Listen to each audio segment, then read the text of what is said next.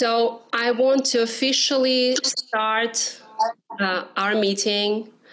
And uh, I want to welcome all of you. Uh, thank you so much. I am uh, the artistic director of Grand Piano Series, and we are based in Naples, Florida. And uh, we present concerts uh, in this area. However, we did start an active online engagement program. So um, this is part of our online offerings, and I am thrilled uh, to have a dear friend, uh, a colleague, um, Eugenia Zukerman, join us today, and um, just a brief. Um, uh, history uh, about my knowing and how we know each other. Uh, we met in 2008, and uh, Eugenia and I uh, have traveled across the country uh, in many different places where we performed as a duo. We also performed um, as a trio and a quartet in different chamber music settings. So uh, it's it's been really an exciting time touring together and uh, seeing and and and uh, Eugenia. Actually, I was thinking about our conversation yesterday and kind of looking back to you know our time together. We had some really exciting trips. You know, so we had some funny moments. You know. Uh, yesterday you mentioned yes we got pulled over on on a highway uh, a couple of times. Uh, i was usually the designated driver. I was the one driving the car uh, and making all the arrangements and so forth. So sometimes not being aware with different state laws you know uh, like turning on the lights uh, 30 minutes before the sunset. I mean, who knew, right? So in and Milana, yeah, I remember the the funniest one that I remember is I had gotten a car finally, and I was driving it, and we were going up a hill. And suddenly behind me, someone was honking. And I was saying to Milana, What's going on? Who is honking? And she said, Pull over, there's a policeman so I pulled over, and the policeman said to me, uh, asked about the car, and I said it was, you know, brand new, and I'm just learning to drive. And he said, What do you mean you're just learning to drive? And uh, he then said, Why didn't you stop? And I said, Well, because you were behind me and you were honking at me. so this was my initial uh, first, in, in, you know, first contact with the with the driving a car.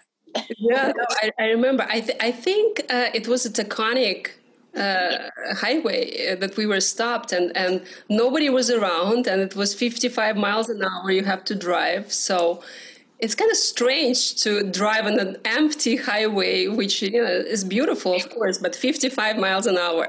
so, not noticing that speed limit anyway.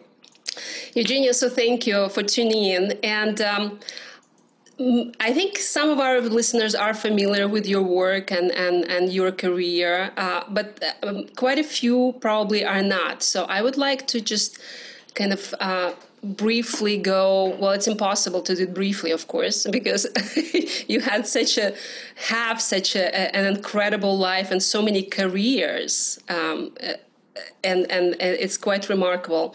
But uh, considering that music has been such an important um, element in your life i want to go back and uh, can, can do you remember the time where you felt that you wanted to become a musician, that this was your calling, and this is where you would like uh, to go career wise? Well, it was really very early on. Um, I uh, was at uh, grammar school, I think maybe third grade, and uh, members of the Hartford Symphony came to our school and demonstrated their instruments. And for the first time, I heard a flute played. And I actually ran home after school and said to my mother, I, I have to play the flute. Please, can I play the flute? I, I must. And um, both of my parents were very musical. My father played the piano, my mother also. And so they were delighted. And I was able to get uh, lessons at school and also because my parents uh, got me private teaching. And I have to say, the flute has always been what I would call my other. It um, it it, se- it seems always to be there for me in different ways, and I think it was terrific for me as a very young kid uh, learning the flute because no matter what was happening outside, if I had had a fight with a kid at school or I wasn't, you know, wasn't uh, happy with this or that, I could always go to my room and have my other or my best friend with me. And I still feel that way. I mean, here I am at the age of 75, and it is still something I get up every morning and practice. And um, it has kept me, I think, very, very centered in certain ways. And I also think it's so important for kids to l- really learn how to play an instrument, even if they only do it for a short amount of time. It is, um, you know, something that uh, doctors are saying that uh, learning an instrument early on uh, is very, very helpful for many things. As a young person, and when you were auditioning uh, and applying for schools and uh, and uh, colleges, did you ever have any doubts? Um, should I do music? Should I be going into the music field? Or was it something that you were absolutely certain that this is your calling and this is your destiny? I can't say that because when I went to Barnard College uh, at first, there was so much uh, in New York to get involved in. And it was clear to me that I wanted to con- keep playing music. Um, and at the same time, I was able to meet people who wanted to play music with me. Uh, and at that time, I had, um, you know, the uh, trying to think of what it's called. Um, uh, when you are uh, you're being taught, not by being taught. Sorry. Was it like um, an exchange program or a double degree or? Uh, well, it, I went to Juilliard. Uh-huh. Um, I started at Barnard, and I realized I really want to play uh, professionally. Mm-hmm. So that was at first I was going to Barnard and Juilliard, and then I I I transferred to Juilliard. Mm-hmm. And, and then it became very clear to me that this was for me and what I wanted to do and had to do. Mm-hmm. And um, so, just uh, remembering, you know, I, I mentioned in our pre-conversation the young concert artist. Um, but ha- for example, you have be, you know, you won the young concert artist, right? And do you remember if there was a big change for you from that point on, career wise? Yes, a big change because when you win one of these competitions, and they are competitions, um, you are taken care of in uh, a very special way, especially with um, uh, okay. with the the agent, which was no, who was I, sweetheart? Help me. Yeah. Well, Julius Baker was my teacher, right. and I had all my lessons with him. But it was young concert artists that I auditioned for, and they took me on. So that was uh, that that was the the biggest boost that I got, really. And young concert artists would take their um, players, and we would be sent off to everywhere across the country. And um, that was a wonderful way to learn not only about um, performing on the road, but behaving on the road and getting through difficult things. I mean, you know, you have a, a, a, tire blowout on you and you have to get to a place and get there to the first time, you know, to in time to uh, have the concert. So I think the early years of becoming a traveling uh, performer was uh, was was a real lesson in in so many ways. Well, it's interesting because um, I think a lot of our audience um, members, you know, they have sort of this romantic idea of what the touring life of a musician is, right? And and uh, so we go on stage. Uh, we are stars, right? But very few people really know what's going on behind the scenes, right? Exactly. Uh, and what just happened? Yes you might have dealt with a you know tire just two hours ago. And and your mind is not quite you know focused on trying to perform the concert right? Right. And then the green room the, the green room and, and so much going on in the green room, right? We are there right before the concert, and the devils are joining us in our head, right? I, I don't know. Yeah. yeah, I, I, agree with you completely because it's it's stand, standing around with your instrument.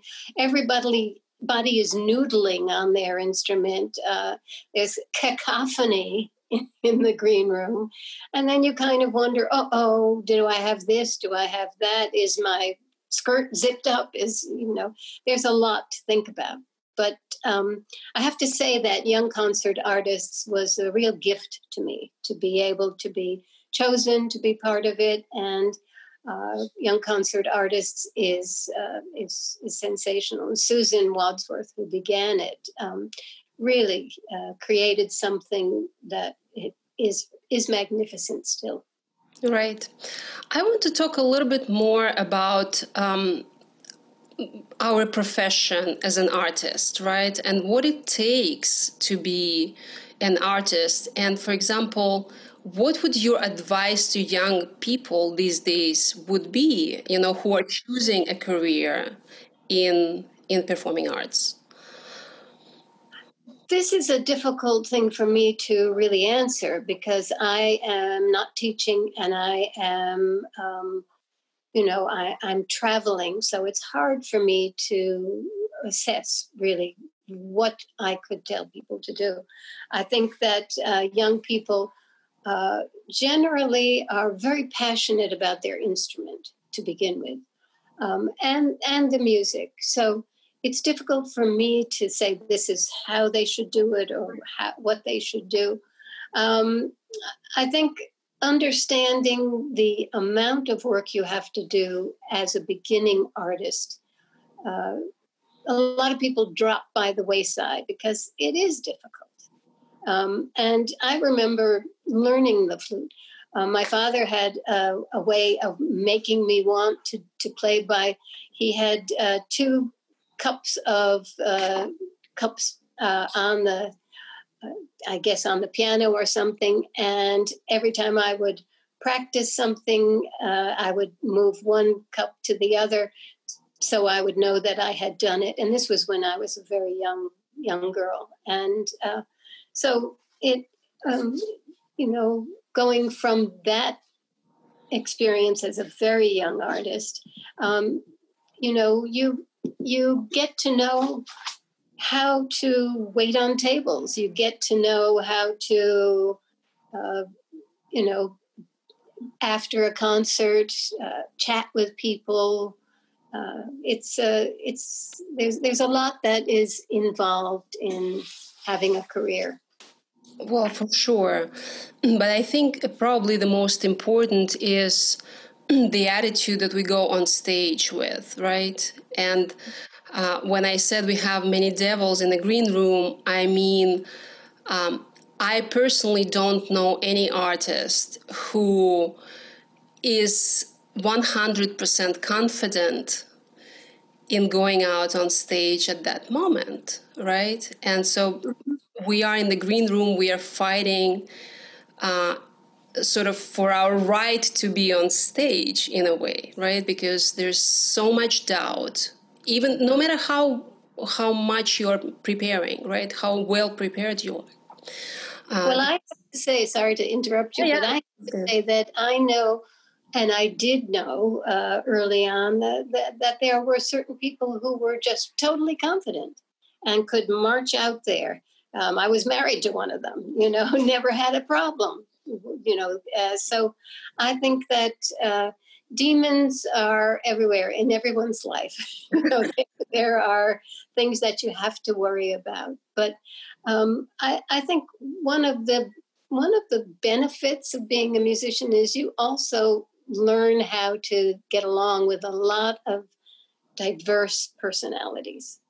Mm-hmm. And um, I'm just thinking of you and me uh, and the many concerts that we did together with many other people. And uh, you and I could talk about it afterwards. And uh, and in those those those kinds of trips that you and I took, I, I found them really enormously helpful because we could really talk very uh, openly about how we had played, and um, and we I think we both learned. Yes, it's interesting that uh, I'm. I'm uh, I, have some conversations with uh, artists and the audience, and the audience would, would come and say, "Oh, it was such a fantastic performance! It was so remarkable and, and great." And as an artist, I think we go back into our room and we know exactly what happened in that performance right so you know we how many mistakes we did or what it is that we did and it's it's sometimes difficult i don't know if in your case but i, I think it's sometimes it's difficult to accept um, the praise right because you you are aware of what is happening right and um, there's constant battle you know we're mm-hmm. constantly battling between you know being on stage and, and saying thank you and at the same time um, you know going back and saying oh i have to practice on this this this and this right. so. well backstage i think uh, is a it's like a hornet's nest. Everybody's buzzing around etc and things can happen at the last moment. I can remember you know zippers not working and going out on stage and sort of tripping over something. It's uh you know, get preparing for the concert is uh, as almost as difficult as actually playing. Mm-hmm. I'm not seeing you or hearing you now. Can you? Uh, well, because uh, can you hear me? Yeah. Okay. um, Eugenia, how did you get interested in um, being arts correspondent and uh, joining the CBS Sunday Morning team? I got a phone call from someone who said, uh, "Hello, Eugenia Zukerman. This is oh gosh, I wish I could remember his name uh, because he was the head of a head of head of um, CBS Sunday Morning." Mm-hmm. He said, "I have a job for you. Going. I have a job for you. You're going to do it. You're going to love it." And I said, "Who are you?"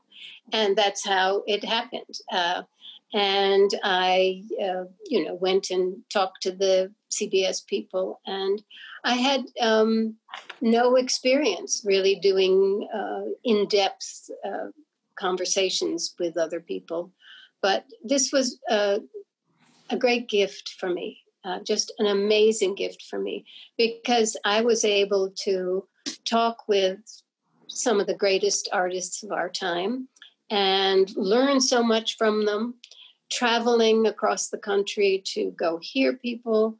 Uh, it, it was 25, more than 25 years with CBS Sunday Morning. And it wasn't the only thing I was doing by any means. So it was, uh, I, you know, my plate was always full.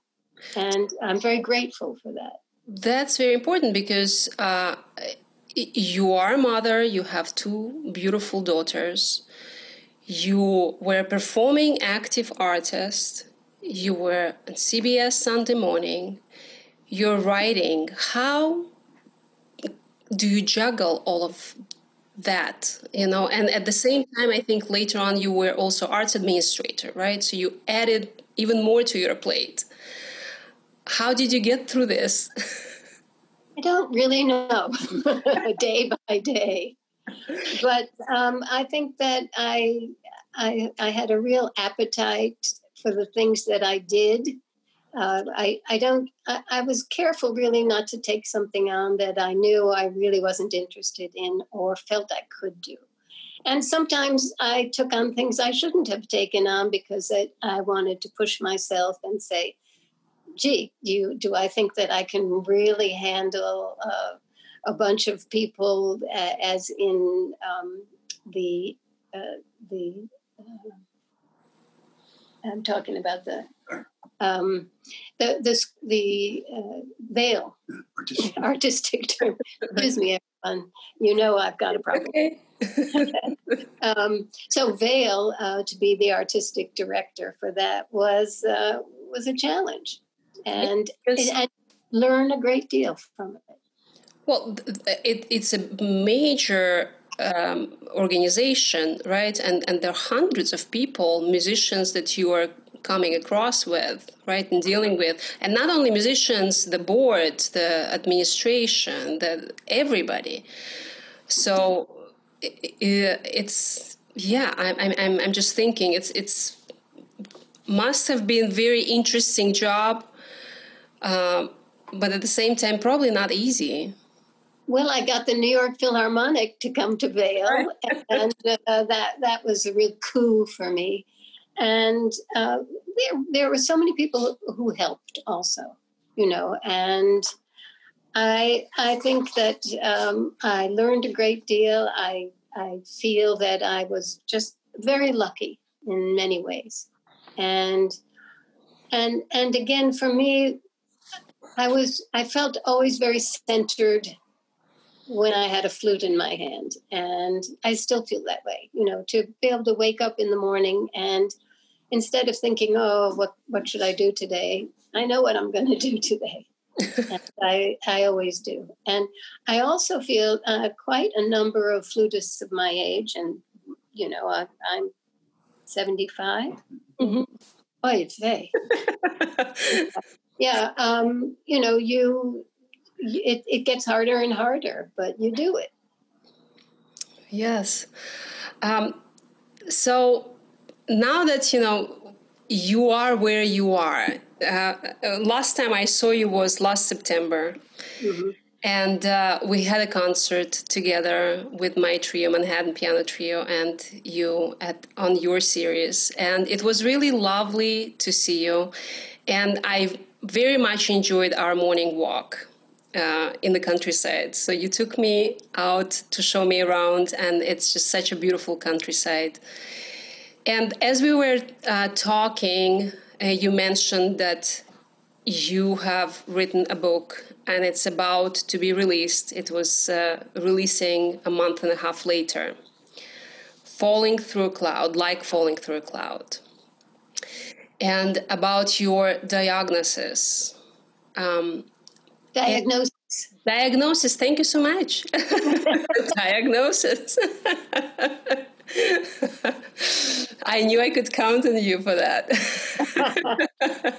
Because I'm the one who has it.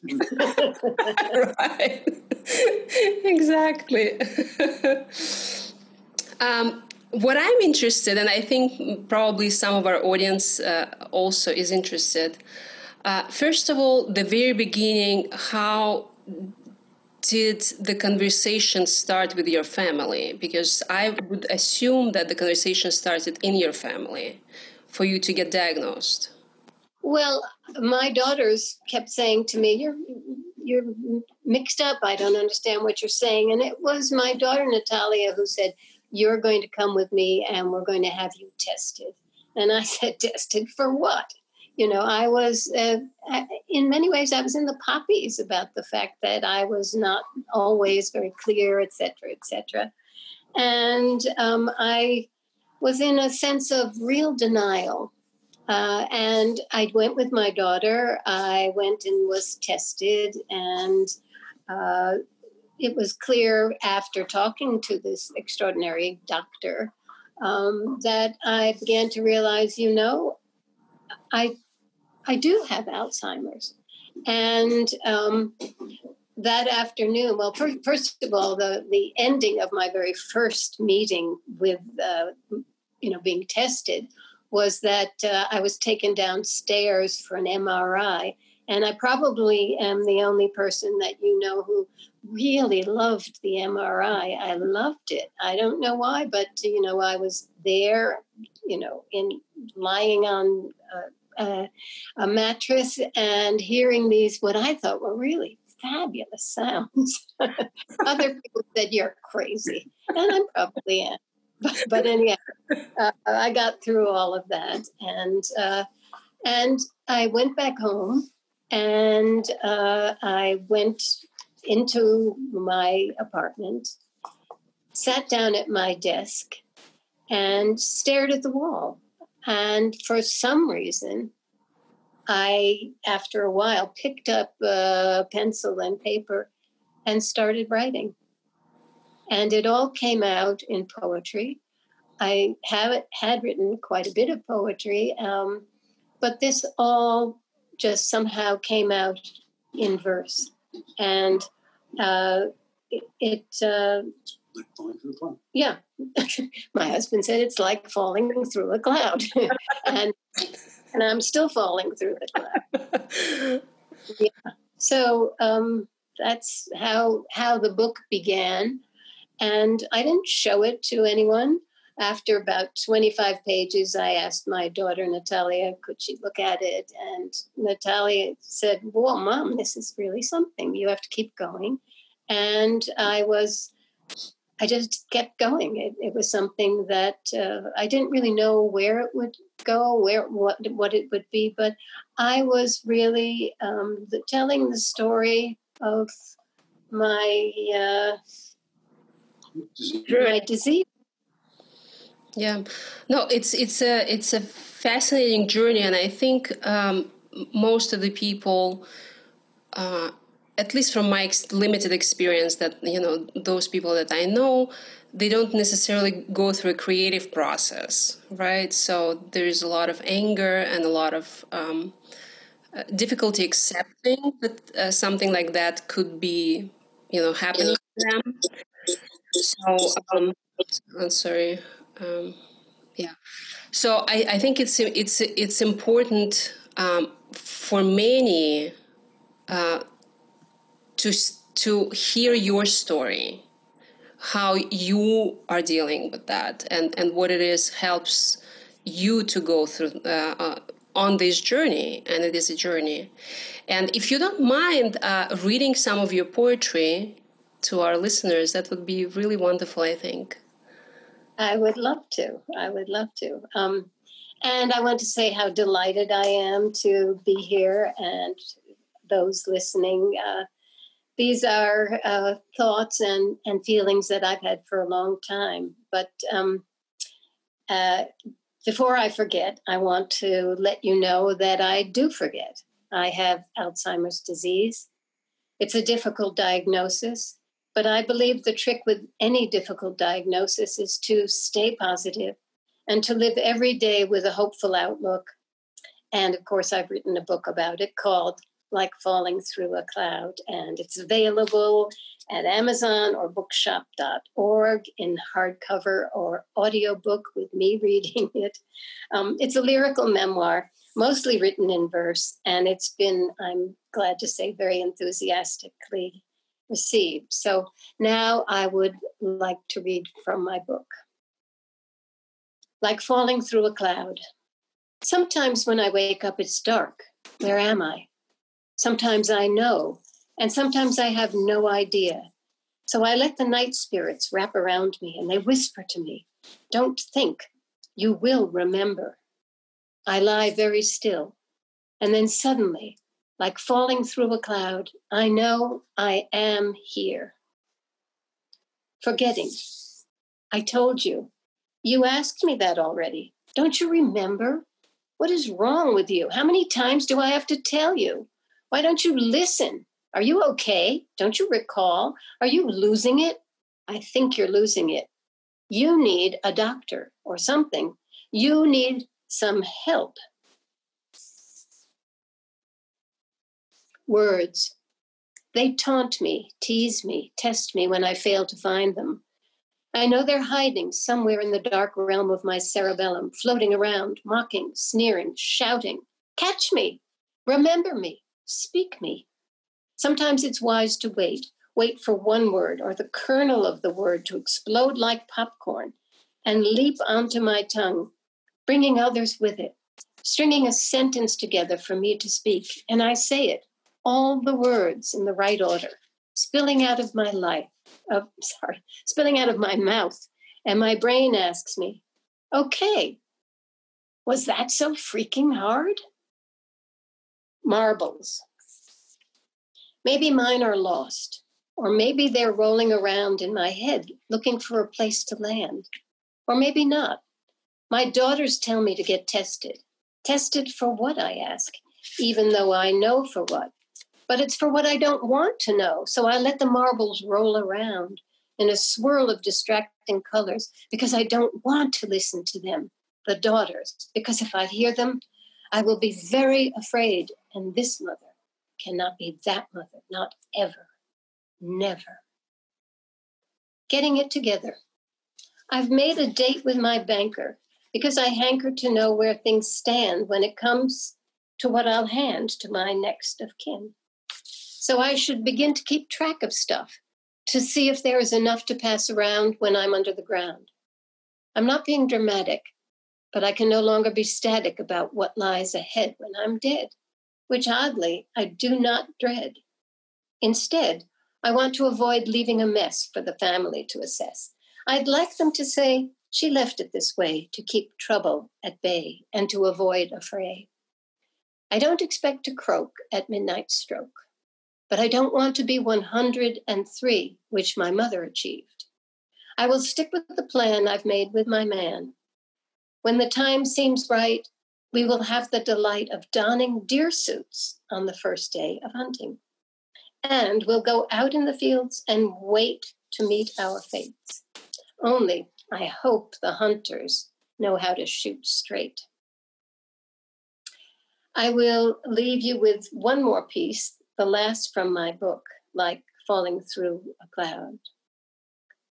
A super sunny Sunday, almost August, and the tomatoes are bulging on their vines.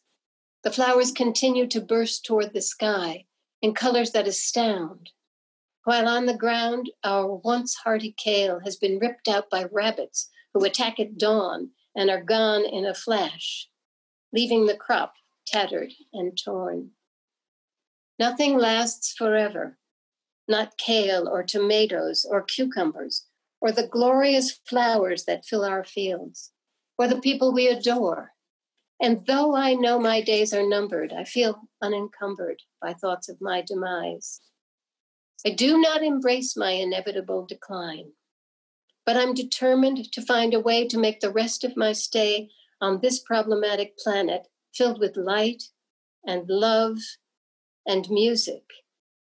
As for the deer suit I promised to don, I don't think I'll put it on. Not now, not yet. I'm not ready. I feel steady. And I have a strategy to keep on keeping on, which is simple. Wake up, fetch the flute, summon up syrinx, give thanks for another day, and then play on, play on, play on. Bravo. Thank you so much. This is just so beautiful, really incredibly beautiful, heartfelt, honest poetry. And um, I'm, I'm grateful you're sharing it with us. Well, thank you. I, I, if you don't mind, there was one thing that, you know, I, I've been sort of wondering, you know, am, am I, is this a good thing that I'm doing going around and does it, who does it help?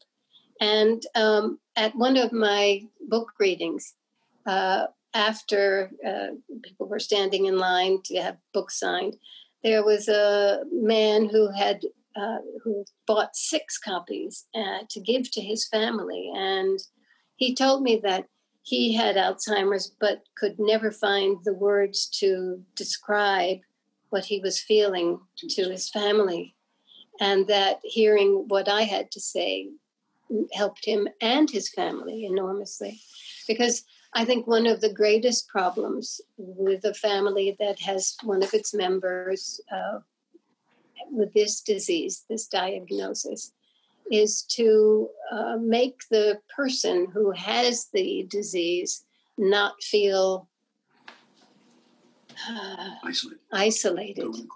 Yeah, you, you you feel isolated and you go into a corner, and um, it's it's. I am so fortunate that I have a family that has really stepped up to the plate and has really helped me enormously in so many ways. And um, I I have never felt sorry for myself, and I feel that um, to feel sorry for yourself means that uh, you've given up, and I don't even think about giving up.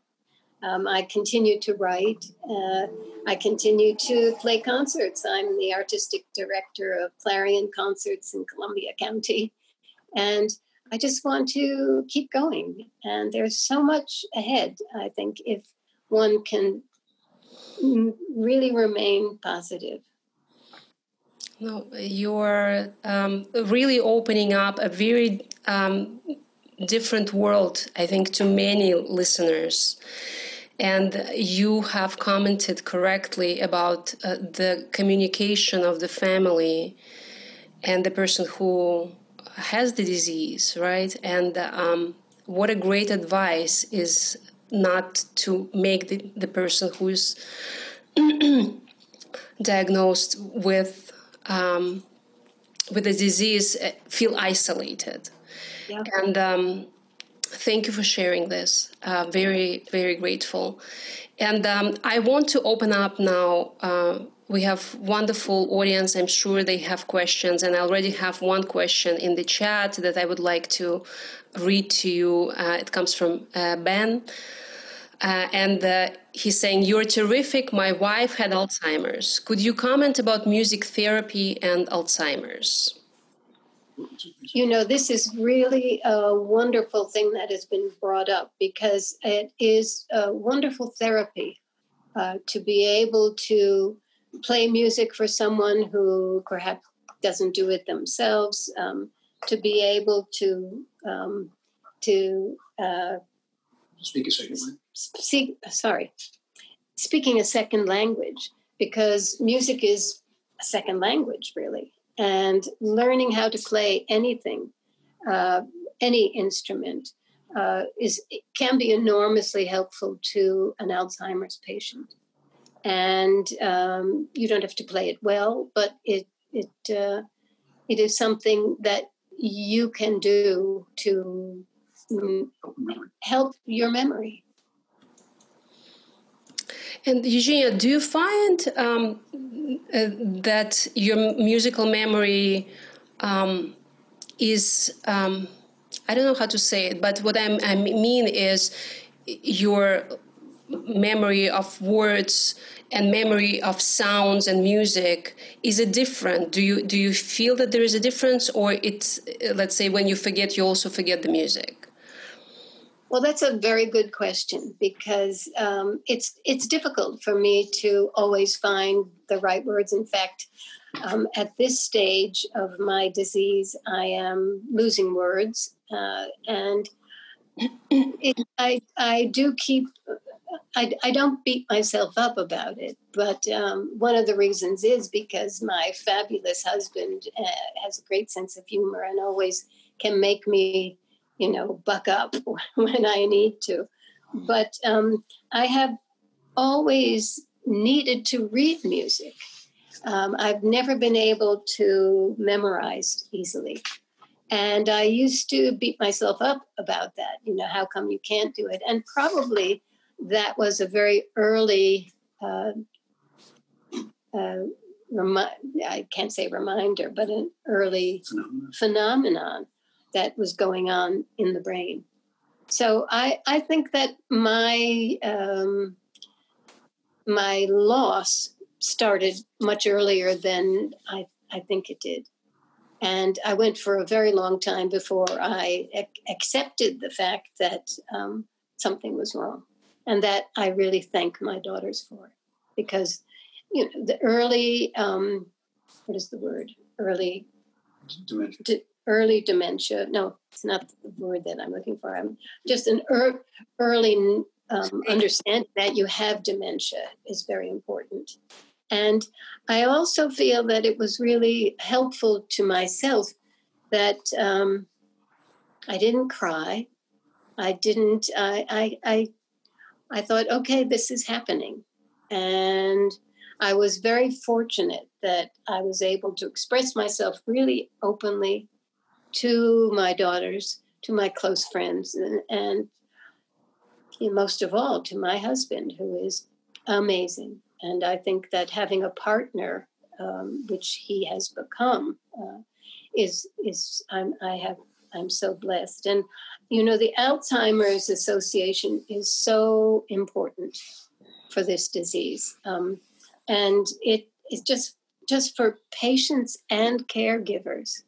Uh, Alzheimer's Association is in every single county across the nation, and if someone needs help in the middle of the night, uh, you can call the one of the uh, 800 number. 800 number, and there is always someone there to help, which I think I very few organizations have that. All all day, all night, you can get help, and um, I've been working with the Alzheimer's Association and uh, doing things with them, and the people who are uh, who are working to not only find a cure are also just uh, so willing to reach out and help. Well, you touched a very interesting um, memory of mine because we've known each other since 2008. And I remember that when you would forget things, um, you would get really nervous and very anxious. And what I've seen is, especially since I last saw you uh, last year, uh, after uh, you've been diagnosed, I think you have forgiven yourself in a way because I feel you were very tough on yourself when you were forgetting things. You were very impatient. You were you wanted things to happen now, and you were upset with yourself that you were not remembering certain things. Yeah. And there is a big change. I feel, and and and that is probably uh, important to not panic i guess. And and and you know if if somebody is noticing that there's you know early signs like that maybe to to go and check it out and and and, and see and and um, find out why it's happening.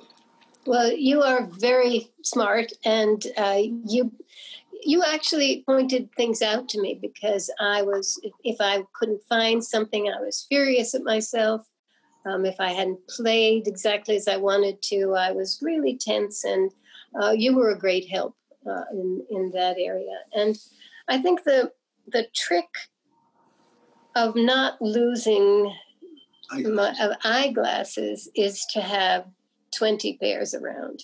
You know, it's it's that kind of thing. Um, I, I do have doubles of a lot of things, and I and I really don't know where things are, and it used to drive me crazy. I don't know. I, re- I remember backstage with you, I was always, where's this? Oh, Milana, I've lost this. And uh, you always, you know, sort of saying, chill. uh, Eugenia, when were you officially diagnosed? Three and I think a half years ago. Okay. Yeah, three and a half years ago, maybe a little more. I, I can't can't really remember, but um, it hasn't gone. Uh, you know, it it's. I can't say that it's going faster and faster. I think that in many ways, because of my commitment to trying to help other people with it, um, and my my need to be able to, uh, you know, help my myself and my family. It's it's. Um, I, I feel that there's there's still a lot ahead. Do you feel the key to all of this and, and, and having a, a fulfilling life with the disease is to uh, accepting and knowing the limitations and then working with limitations and, and kind of let's say yes like you you need 20 pairs of glasses around you know or making adjustments like that? Yeah i i think i think that i am less uh, difficult on myself than i used to be because um, i also uh, the, the the tension that builds up when you're looking for something and can't find it is not healthy and I think that is one thing that I have been better at uh, managing mm-hmm. because I uh, perfection was something that was uh, was expected in my household. My father was a, a genius, um, and my my mother was a dancer with Martha Graham, and she was a great uh, the first woman admitted to City College School of Engineering. So, you know, very highly um, functional people. And it was always uh, expected of me. And, um, uh, you know, I, I, I don't have that anymore. My expectations are my expectations. There's nobody, you know, behind my shoulder saying, you should have done this, you should have done that, you know. In, and, and this might, might sound odd to say, but I I am happier because I don't expect the what I can't do. I don't expect what I can't do, and that helps. You bring up very interesting points. So your mother lived until she was 103 years old. Yes. Do you remember just one wonderful story about my mother? She was uh, in her in her last moments, and I was in a room alone with her and I kept saying, Mama, it's me, it's Jeannie. And she didn't seem to know that anyone was in the room at all. And just suddenly she looked up, opened her eyes, and she said, I know who you are, and you're letting yourself go. you know, I, that was it. That was her last words to me. Wow. so now a question: Do you remember if um, you went to to check up on on the Alzheimer's du- during your mom's like was she still alive, or was it after her death? to check up on my mother? Oh, no, no, on your Alzheimer's. Oh, yeah. To, I think it was after her death, but I think that I was already understanding that something was going on. Mm-hmm. I, I, can't really remember, you know, how it was, but uh, she was in a, a, very wonderful place in Massachusetts and um, well taken care of, etc. Also, I have a, a, a famous doctor sister who I always have gone to, and uh, she she is amazing. So I've had uh, a lot of ability to call the doctor and and uh, ask questions. Your mom made a major impression on me. I think she was about 99 years old when we went to play a little concert in the place where she stayed.